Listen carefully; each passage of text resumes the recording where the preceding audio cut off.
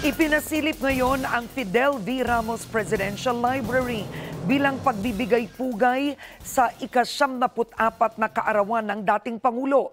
Tampok sa kauna-unahang online presidential library ang personal na buhay ni Ramos at ang kanyang mga nagawa bilang dating Pangulo ng bansa. Makikita rin sa library ang mga isinulat at likha ni Ramos na sinasabing makakatulong sa pag-aaral ng mga estudyante at scholars at magsilbing inspirasyon sa mga susunod na henerasyon ng Pilipino.